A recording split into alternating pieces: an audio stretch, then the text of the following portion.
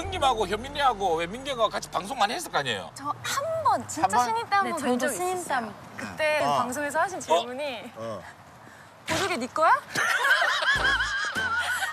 아 원래부터 네 거냐고? 어, 네- 원래 네 거니? 네 거니?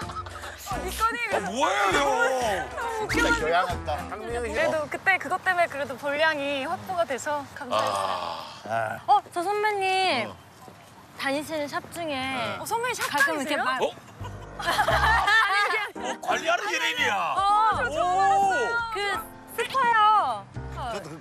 그래? 거기 다니거든요. 나도 미장원 동기구나. 네, 저는 많이 뵀는데 아, 치터에만 계시는 줄 알았는데. 형님 여기는 동림문. 예 독립문. 옛날에는 이거 영원문이라고 그랬어요. 영원문.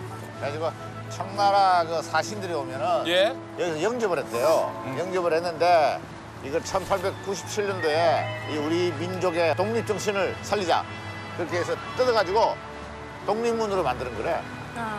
뜯어가지고 독립문으로? 독립문으로.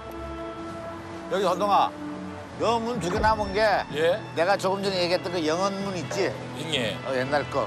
음. 이거 이거- 이걸 거- 걷어내고 네. 저렇게 새로 지었다고. 독립문으로. 그러니까 이게 몇백 년 된 거야.